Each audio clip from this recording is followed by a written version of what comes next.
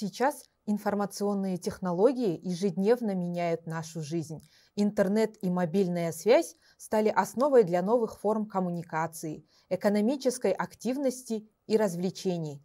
Однако нельзя игнорировать одну основную потребность человека – необходимость обеспечения безопасности. Особенно это относится к безопасности персональных данных, поскольку эти угрозы зачастую остаются незамеченными с первого взгляда и часто недооцениваются. Для начала предлагаю определиться с ответом на часто задаваемый вопрос с понятием персональных данных.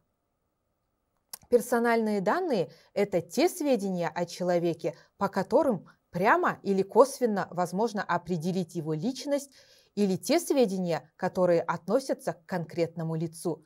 Примеров множество. Фамилия, имя, отчество, ИИН, номер мобильного телефона, физический или электронный адрес и так далее. А физическое лицо, к которому относятся персональные данные, будет являться субъектом персональных данных. Следовательно, такие данные должны защищаться. правоотношениях, связанных с персональными данными, основными непосредственными действующими лицами являются собственники, операторы баз, содержащих персональные данные, а также третьи лица. Государственный орган может являться как собственником, так и оператором, в некоторых случаях и третьим лицом. Важно отметить, что все перечисленные лица обязаны соблюдать меры по защите персональных данных. Далее перейдем к насущным вопросам. Как должны защищаться персональные данные и кто их должен защищать? Кто контролирует данные вопросы? Кого привлекает к ответственности в случае утечек персональных данных? За нарушение требований законодательства о персональных данных и их защите предусмотрена как административная, так и уголовная ответственности. Уполномоченный орган в сфере защиты персональных данных – который, к слову, определился впервые в национальном законодательстве только 25 июня текущего года, и им является Комитет по информационной безопасности Министерства цифрового развития. Он привлекает к административной ответственности за нарушение в сфере персональных данных, предусмотренных статьей 79 и под пунктом 1 части 1 статьи 641 Кодекса об административных нарушениях. Данной статьей предусмотрено административное изыскание в, размере штраф, э, в виде штрафа размером от 10 до 1000 месячных расчетных показателей. Краеугольным камнем в работе с персональными данными являются два принципа. Первый – наличие согласия – то есть есть два основания осуществлять сбор и обработку персональных данных – законодательное – и наличие согласия самого субъекта персональных данных. То есть, если какому-либо оператору на законодательном уровне разрешено собирать персональные данные без согласия субъекта, он беспрепятственно это делает. Если законами это не предусмотрено, он обязан получить согласие субъекта. Сбор и обработка персональных данных регулируется нормативно-правовым актом уполномоченного органа. Второй принцип. Сбор персональных данных допускается только при условии обеспечения их защиты. Если собственник, оператор или третье лицо не берет на себя данное обязательство или не может обеспечить защиту, то сбор персональных данных запрещается. Итак, определились с тем, кто и при каких условиях может осуществлять сбор и обработку персональных данных. Теперь хочу обратить ваше внимание на то, что каждый собственник, оператор имеет право собирать только те данные, которые необходимы для их деятельности. Не допускается сбор избыточных данных, то есть тех данных, которые не нужны для осуществления целей и функций оператора. Перечень персональных данных определяется нормативно-правовым актом уполномоченного органа.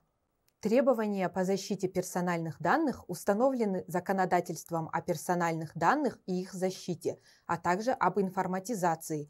Порядок осуществления собственником, оператором, а также третьим лицом мер по защите персональных данных определен постановлением правительства Республики Казахстан номер 909. Наряду с этим к электронным информационным ресурсам, содержащим персональные данные, установлены требования по технической защите согласно постановлению номер 832. Так с чего же начать приведение в соответствие организацию мер по защите персональных данных с требованием законодательства? Прежде всего, всем операторам, являющимися юридическими лицами, в том числе государственным органам, необходимо определить ответственное лицо за соблюдение мер по защите персональных данных. Наряду с этим нужно наделить его обязанностями, предусмотренными статьей 25 Закона о персональных данных и их защите. Также основные организационные меры для обеспечения защиты персональных данных включают определение перечня лиц, осуществляющих сбор и обработку персональных данных, либо имеющих к ним доступ. Установление порядка доступа к персональным данным. Более подробно Требования описаны в постановлении правительства номер 909 от 3 сентября 2013 года.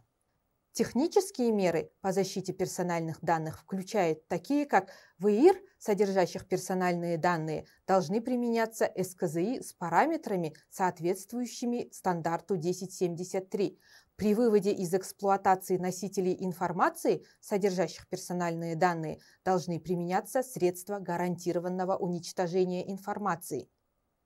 Также должно соблюдаться требование по передаче персональных данных только по защищенным каналам. Непринятие вышеуказанных мер в организации является нарушением части 3 статьи 79 Кодекса об административных правонарушениях. При возникновении каких-либо уточняющих вопросов просим обращаться к нам за официальными разъяснениями. Комитет по информационной безопасности готов оказать непосредственное содействие при организации работы по защите персональных данных.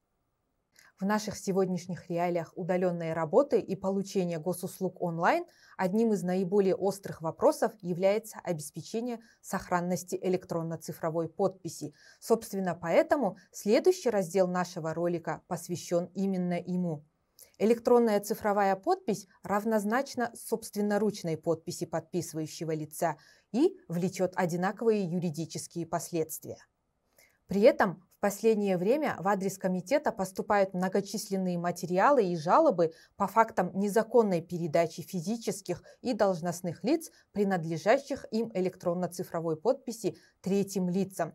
Наиболее распространенными – являются случаи передачи руководителями государственных органов и организаций своих ЭЦП сотрудникам, оставления ЭЦП без присмотра, непринятие мер по защите и отзыву ЭЦП уволившихся работников, которые владели ЭЦП от имени организации. Подобные действия влекут неправомерное использование ЭЦП, административно и уголовно наказуемое деяние. По данным фактам налагается штраф в размере от 10 до 150 месячных расчетных показателей. В целях предотвращения нарушений в сфере ЭЦП необходимо придерживаться следующих рекомендаций. Исключить передачу ЭЦП третьим лицам. В организациях нужно сотрудников, ответственных за подписание документов, наделить полномочиями и выдать им собственные электронные подписи. Для этого необходимо правовым актом руководителя организации передать право подписи соответствующему лицу и выпустить на его имя ЭЦП. Передача ЭЦП руководителя, выпущенного на его имя по доверенности либо по какому-либо другому документу, является незаконной. Далее, необходимо отслеживать факты увольнения сотрудников, имевших ЭЦП от организации, и отзывать их электронные цифровые подписи – в случае утери необходимо перевыпустить ЭЦП, немедленно отозвав предыдущую, а также сменить пароль со стандартного на более сложный. В заключение позвольте сказать, киберугроза и утечка персональных данных начинается там, где нет кибергигиены. Стало быть, человек – главная уязвимость любой современной и дорогостоящей многоуровневой системы защиты. Выбираете вы, будь уязвимостью, слабым звеном нашей страны или быть ее киберщитом.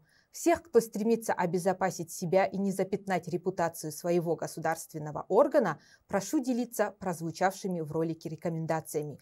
Берегите себя, свои персональные данные и свою электронную цифровую подпись.